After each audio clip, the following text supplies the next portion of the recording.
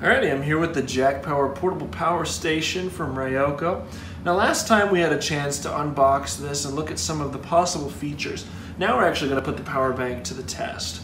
So right now I've got my laptop plugged in via the AC adapter uh, outlet over here and I also have my cell phone plugged in into the direct current uh, with the one of the two USB ports. There's also a USB-C on the side of the device that you can actually power it with or you can use it to power another device.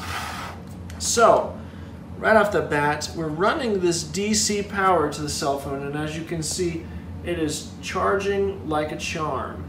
Now, what I'm able, also able to do with this is, as it's charging, I can look over here and I get an estimate of how much time I have left powering this device while just outputting this small 4 watts to the cell phone.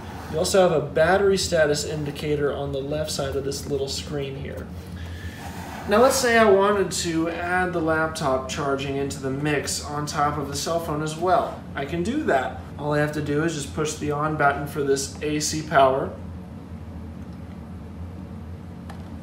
And there we go, it's lighting up to show that there is AC power running now to this charger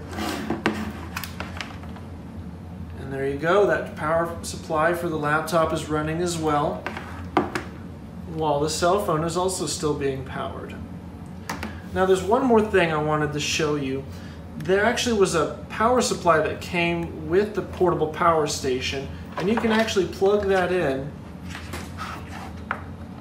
while it's running, and you can charge the Jackpower portable power station as it powers other devices. So it's almost like a little uh, power strip for multiple devices on top of just being a standalone power bank to be able to charge all of them. So far, I've had a wonderful experience with it. It's gotten all of my power needs taken care of. This AC adapter side is powerful enough to charge a laptop, something like a camera or another somewhat sizable device for you, while these USB ports will also take care of any smaller device like a, um, a cell phone or a tablet for you as well.